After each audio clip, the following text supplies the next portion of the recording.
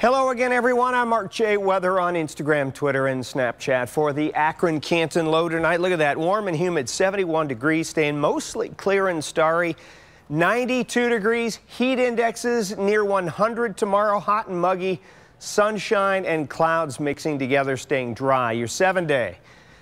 Tuesday 91, 87 Wednesday, 78 Thursday, Friday 81.